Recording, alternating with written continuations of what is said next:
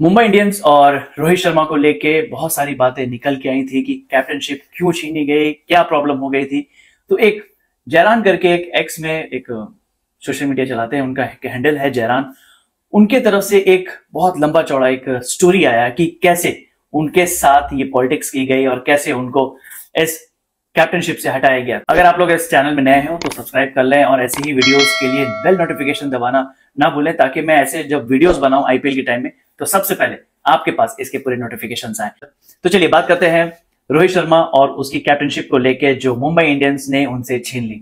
तो बात ये 2024 की नहीं है बात स्टार्ट होती है 2020 चलिए उससे पहले ले आते हैं 2008 से। सबसे पहले कैप्टन कौन थे? मुंबई इंडियंस के। पाँच बार कैप्टन रहे सचिन रमेश तेंदुलकर। बहुत बड़ा नाम। लेकिन एक बार भी उन्होंने आईपीएल ट्रॉफी नहीं जिताई।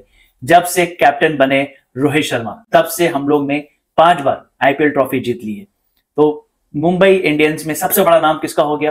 रोहित शर्मा का। सचिन तेंदुलकर का नाम थोड़ा सा छोटा हुआ था नज़र आने लगा। उसके बाद जब वो ओपन करने लगे अपनी इंडियन टीम के लिए, तब भी उनका फिर से थोड़ा सा कद छोटा हो गया सचिन तेंदुलकर साहब का। ये पूरे स्टोरीज है, ये मैं लगा रहा हूँ आपके साथ जो उन्होंने पूरे तथ्य के साथ बताया है। उसके बाद दो सौ बनाया सचिन तेंदुलकर ने, उनका भी रिकॉर्ड दो बार। तोड़ा किसने? रोहित शर्मा ने। तो मुंबई चराजा और मुंबई द किंग, कहा जाने लगा आपके रोहित शर्मा को इससे।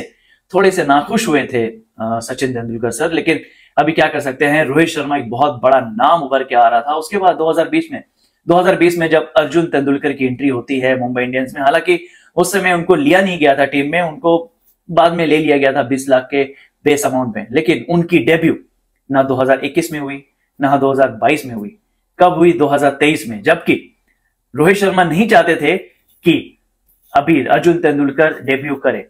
और इसके लिए बहुत सारी बहसबाजी हुई है इंटरनल बहुत सारी चीज़ें हुई हैं। ये मैं अपने खुद अपने तरफ़ से नहीं बोल रहा हूँ। ये जो भाई साहब है, उन्होंने पूरे ट्वीट लगाया है, उसको मैं आपको पढ़ के सुना रहा हूँ।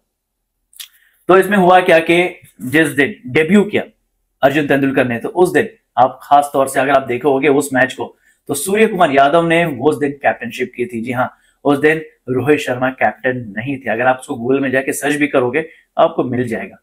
उसके बाद सचिन तेंदुलकर ने सोचा कि नहीं, अगर उनको बड़ा बनना है मुंबई इंडियंस में तो रोहित शर्मा को कैप्टनशिप से हटाना पड़ेगा।